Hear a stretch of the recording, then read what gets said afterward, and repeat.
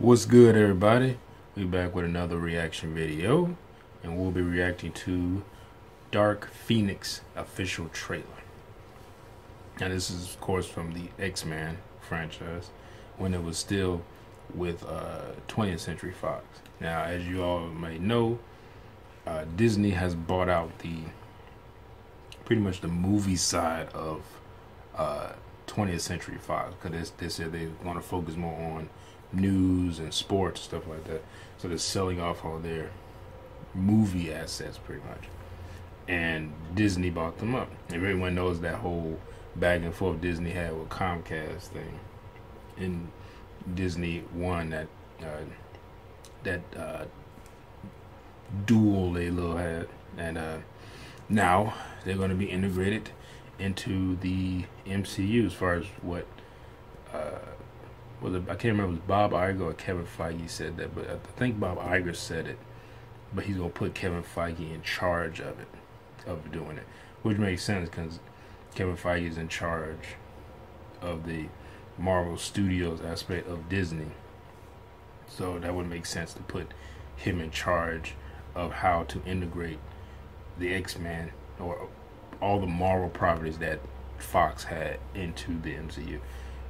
I think the X Men, the whole mutant thing, I think that'd be very difficult to integrate into into the already existing MCU, especially with the history the, the you know the X Men have and all that stuff, and it just uh, it would just seem unless you do something where it just starts like mute like kind of like what they do with like vampires or something like they no one really knows they exist, but then something happens that causes a like uh, uh, influx of information about vampires actually existing, and they can do that with the mutants. Because I've seen people say, "Oh, they can just open a portal. There's two different dimensions and all this stuff." Kind of like what they do on, uh, well, not kind of exactly what they do on uh, the CW, the DC shows, where they have like alternate universes. And they said, "Oh, well, because I remember before it was like hard to go back and forth between the dimensions." And they needed like you know the flash to to speed through and get to a certain speed. I think like light speed or fast and light speed. I can't remember, but to jump through dimensions. But now, I remember the last time I saw that that I think the previous the the last crossover, they had uh I think uh forgetting the guy's name, the vibe. I can't remember his actual name. And it's been a while since I watching those shows, but uh I started missing them because of work, and then I just couldn't catch up, and then I just stopped watching because I couldn't catch up. but uh, kind of same thing that happened with The Walking Dead. But uh, sometimes I watch little clips of them though online, and I remember he gave her some device where she could now just jump between uh, dimensions whenever she wants to. Now too, just like because Vibe can do the you know the vibration thing and open up dimensions. Flash can do it now. They just made something, which I guess makes sense. You can, as time goes on, they perfect the technology. They're like, oh, I created something where you can now just jump between dimensions. You don't need a speedster or vibe to come get you and bring you back. So, and and plus, that's time consuming, costs money. They got rights. I think of how they do it each time, and, so there's a, just it makes sense that the technology would get better and they would just be able to do it. But I don't like that for some reason in this aspect. For Marvel to do that with the X Men universe, the Fantastic Four would be easy. You just say hey, they exist now. They something happened, and now you have the Fantastic Four. But the X Men, like I said, I think they should just do kind of like what they do with vampires and everything. What they're going to have to do with Blade if they introduce him would say, hey, you know, vampires exist now. Now, now, even in I think even in Marvel comics, vampires is not like it's not like a well known thing. Like oh, vampires, are, vampirism is a real thing. It is still like in myth, you know, and stuff like that. So, but you know, heroes and stuff have dealt with vampires stuff like that. Because even DC, like they have vampires, demons, witches, warlocks, like all type of shit, but they're not well known. I mean, you see them, the heroes fight them all the time, so you would think everyone knows that they exist. But no, they, they're not publicly known where, oh yeah, this person you made might be a vampire. you know, it's not like that. But uh, I think that's what they're gonna have to do with the X Men. Uh, but the only thing about this is, if they try to keep all the cast members instead of rebooting and introducing them into the MCU, all this stuff that's happened in the in the, the you know the history of the movies, you know a lot of stuff was big and well known stuff. Plus, in the X Men universe, people know about mutants, so it's a well known thing that you know everyone knows about mutants. People been about mutants since I think what the fifties, sixties. I can't remember which one. Uh, uh, first class, but um, what, what time period that took, took place in the '60s. But um, people have known about mutants in that world. So if you just take that, just try to just interject it, be like, well, how come, you know, there hasn't been, unless you're saying like it hasn't been an issue from, I guess you could say the '90s to now because I mean now they introduced in the '90s because of uh because of uh Captain Marvel, but before it was just usually like flashbacks to, to specific events like when Tony's parents got killed or Captain America and stuff like that. They didn't talk about mutants, but now since you introduced in the '90s and, and Captain Marvel was in that, I would think they would have to at least bring it up if they're just going to try to cram what Fox has done into the MCU. But anyway, enough on that. Let's watch this trailer. Let's see what they get. I think it's gonna be pretty good. I've seen people kind of clowning on it. From the comments I read, mainly it seems like because it's not in the MCU, but I think Fox has done a pretty good job. I mean, they've had some hit and misses, but so has Marvel. But uh, let's get into it. All right, here we go. You are not broken.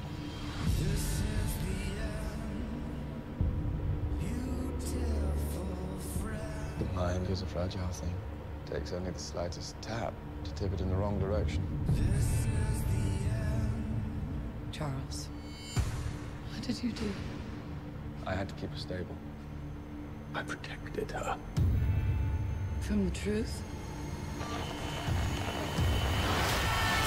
Oh shit! There's another word for that. Well, she's he. I think he needed to do that. They give for answers. they giving him a lot of shit. But I think he needed to do that because this chick is the way she is now. Like, oh, she could have gradually, she could have gradually became evil then too. What Like, She's changing. and what? You didn't come here looking for answers. she's a You came here vampire. Looking for permission. Jean, Oh. I always thought telekinesis was cool, but I'd rather have telepathy. pain. That's all coming out at once. Jean lost control, but she's still our friend. This is your fault, Charles. The world is on the brink. How about we fix the problem, not the blame? You're always sorry, Charles, and there's always a speech, and nobody cares. Magneto has no room to talk about anybody. Don't do this. Like you have no room to criticize anybody. I've seen evil. Who's Dragon Ball Z that's just yelling at the screen? I'm looking at it now. See, I said she's a vampire. I like that music. I like that music. That was kind of cool. That um, that um, that looked pretty good. That looked really good. Um, it looked. I mean, I, I I know, like I said, I know Fox. They can do really good things, and they've done good things with the X Men franchise. Like, I like how they just kind of just they they they try to focus on one movie. I noticed that when they tried to do like a cinematic type universe, it started to lose its appeal. You know, like Marvel, they have their they pretty much have their cinematic universe on point. Like they know exactly what they want to do, and they try to stick to a specific way they're doing it. You know, and when they and it's like anything that doesn't work, they cut this shit out like a cancer.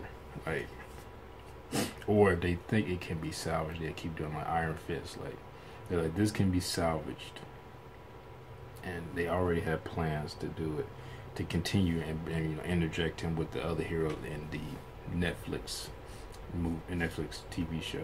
So they like we going and they they did a better job with season two. Still not great, but it's better. You know, that's what we want to see progression. Now, like something like Inhumans, people hated that so much they just cut that shit off like like a rotten arm. You just you like get that shit out of here. You know. And they movies. I mean, they've had you know. I would say I, I would say the only movies I guess that I didn't like was that I really did not like was um, Iron Man three, and no, it had nothing to do with the Mandarin because you was the first people who try to defend that movie and say, "Oh, well, you just didn't like the Mandarin." No, I could care less about the Mandarin. The whole overall movie I just didn't like. Uh, I'm not gonna go in great detail with the different names, but overall movie I just didn't like. Uh, Thor: The Dark World didn't like. The first Captain America movie I thought was okay, but you watch that a couple times, I think you don't need to ever watch it again. Um, that and Iron Man Two. I thought Age of Ultron was okay. That was, I mean, a little bit better than uh, Captain America. And pretty, and the event, no, not Avengers, but the uh, Guardians of the Galaxy movies. The first Guardians of the Galaxy I didn't like. The second one I thought was uh, okay, which is funny because a lot of people love the first one. Just are either okay or don't like the second one. I do not like the first one, and I thought the second one was just okay. Like I watched that twice. I want to watch each movie twice just to make sure that um, I'm giving it its just due. And say whether I like it or don't. What I don't, I don't like just oh I hated this movie. I only saw it once. You know. I seen movies that I had a hard time getting through, and I turned it off like 30 minutes into it. But then I go back and I watch it because I'm like, maybe it was just me. Maybe I didn't feel good, or it just wasn't feeling at the time. So I watched it again. And then I'm like, no, no, this movie sucked. That was it wasn't me. But but the one thing about Fox that I liked that they did with the X Men, they started just kind of throwing continuity out the window. Look, let's just make a good movie now. If we want the next movie, like to be in con, like what they do, what they started doing is trying to do the X Men movies kind of in a continuity, but they did origin stories, or well, they only did one real origin story, which X Men Origins, which wasn't very good. It was it's something to just pop in when you drunk, I think, just over you with a bunch of people and you you're more so talking than actually paying a whole lot of attention to what you're watching. But um,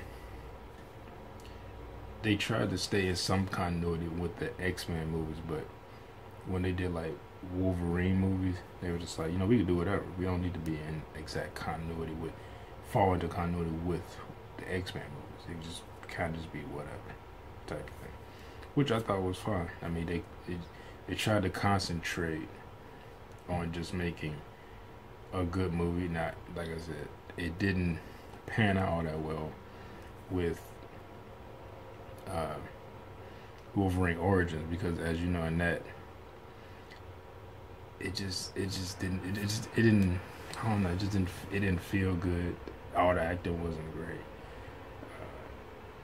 Uh, like I said, it's a fun movie. Just pop in like if you're you just kind of want to be distracted or you want to put something on while you fall asleep. Uh, but that's about it for Wolverine. But their movies, I think they, they focus more on just trying to make a good movie. They try, especially when they see what what people complained about the previous one. It's okay, we got that. Let's not do those same mistakes. Let's learn from our mistakes. That's what they're trying to do. Which I think that's what DC's trying to do now. They're like, we tried this, people didn't like it. Well, I, I, would say a lot of people didn't like it. I don't know about the majority on that, but enough people didn't like it that it's cast this bad image on our property. So now we have to redo that. We have to change it. That's why people's like, well, won't they stick with one tone? And I was, I'm like, Well, they started with one tone, and people didn't like it. Like a lot of people didn't like it, so they have to change the tones of the movie because they had these movies have to be profitable for them to keep making movies. Now people are why are they changing it? Now, if you were a fan of the tone of the like like it's Superman uh, or Man of Steel or Batman vs Superman stuff like that, and they changed the tone. Even me, I'm a fan. I, I like those movies, but at the same time, I can understand why they changed the tone because they're not they're not getting the overall uh, positive appeal. They're not appealing to enough people, so they have to change. They have to. As a business, I think people forget about the business side of movies, and they just think about the. They say, well, it's just art, or just just do whatever the director tells you, like just or the writer. Like don't don't change the person's script or have anybody rewrite it, or tell the director we want to do this instead of doing this. It's when the, when when the movie's good, it's fine, you know. But when the movie turns out bad, you know, it's it's interfere the, the studio's interfering with them. Now, some I'm not saying that that doesn't happen, where studios interfere too much and come in there and just start telling them to cut this out, cut that out. That like like was Zack Snyder and uh, was that? Uh, was it Justice League? No, it was uh the well, the first one was Batman vs Superman, and they they told I'm sure the studio told him how long that movie needed to be. Like this, yeah, we can't go over this. If he comes in with a four hour movie, or it was either four hours or three and a half hours, something. It was it was a very long, like thing that he movie he brought to them, and they said, well, you got to condense this down. It's up to him to you know to edit and cut out certain scenes that aren't needed. Now, they seem to edit and cut out scenes that if you look at the ultimate version or edition of that movie needed because it created either plot holes or you didn't understand why this happened, why that happened, because they cut out certain parts that led up to it, so you so you could understand what happened. To me, that's on the fault of the director, because it's not like that. Oh, just make the movie, and he be like, okay, it could be, how long does it need to be? Oh, just just make it. We'll, we'll decide that later. Then that's on the studio because then he brings them a, a you know three hour plus movie and they're like, we, we can't do that because we can't put it in enough theaters to make us, you know, the amount of money that we want to make. Because, you know, theaters going to limit how many movies, how many showings they have because of how long the movie is. They can't have you it of all their theaters because they got other movies in there. This you have long ass movies. So they like, so now that was the situation where they told, oh, do whatever, you know, and we'll, now, and I would still say it was kind of his responsibility, but no, I need a specific time, or at least, a, a you know, a, a rounded time to like, hey, no more than three hours, or something like that, or two and a half, or something. Now, if it's a little bit over two and a half, then, you know, we'll make do. But if it's three hours, an extra 30 minutes, like you said, two and a half, is 30 minutes, and you know, we need to cut this down. Now, I would say that would be on the director because he wasn't, he didn't get he didn't ask for clear direction. He didn't ask any questions. But they told him how long that movie was supposed to be. And he just give them a long ass thing that they said, well, now you need to cut it down. And he has cut it down. That's his fault. He didn't do what they told him to do. But it could be either we don't fully know that, you know, the whole story. Because a lot of people just assume, and, you know, and it's, a lot of people just jump on either you know it's Marvel or Warner Brothers, uh, you know whoever they usually jump on that particular uh, studio rather than saying well, you know looking and see is plenty to blame to go around. And they both didn't collab enough with one another to get a good understanding. And then you start cutting, like I said, cutting out stuff, you can't cut out key moments that, that lead up to a moment. You can't say, well, this is how it starts. And we had this to indicate, you know, where it's going to lead to. But then you cut out this part, so you just have a start and an end, or what it lead, what it led up to. But you don't know what happened to make it lead up to that. Like the whole, uh, you remember the uh, the scene where Superman saved Lois, I think in the Middle East somewhere, and she, uh, and they then they tried to frame Superman for that, saying that oh he uses heat vision to kill those. Now, now the, the, the thing was we didn't know that it was his heat vision. If you look at the theatrical cut, like we didn't know it was his heat vision. It was just like he killed those people. And I was like, he killed people? And I was like, with his heat vision? So I remember in the movies thinking that, like, like if he punched them or something, it'd be obvious. Like, okay, it wasn't his heat vision. Like he beat them up. That you could. I mean, how would you know Superman unless the whole body was exploded? But even there, you. It, I say even then, you couldn't really prove that. But they, but then in the Ultimate Edition, if I remember correctly, they were saying that they shot some. They they, they had special bullets that they shot, and they heated up and I guess inside of to kind of mimic his heat vision.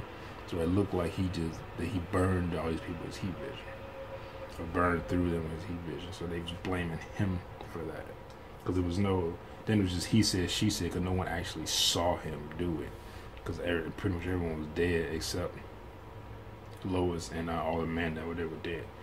So except for of course Lex Luthor's people, but that was the whole point. But then they cut that part out about uh, they did they would just say well Superman killed him, Uh, and I was like, well, how do you know that? Well, what evidence do you have that he did this happen? That he needs to even defend himself. You know, it, it was just it, that was just one particular thing about that. That I guess you know pissed a lot of people off or turned a lot of people off. Because they're like, I don't understand this, I don't understand that. But anyway, getting off on a whole different uh, rant type thing. But this looked looked good to me. Of course, we haven't seen the movie; it's just a trailer. This trailer, this movie could suck ass, and and we don't know. But hopefully, it's good. The trailer looks good, and then they, I'm like I said, I'm curious how they're going to interject this into the MCU, unless they decide to uh, reboot it and then just start from scratch. But we'll see. Anywho, thanks for watching, everybody. Hope you enjoyed my reaction. Like, comment, subscribe, and I'll see ya. Whew. And I'll see y'all later. Peace.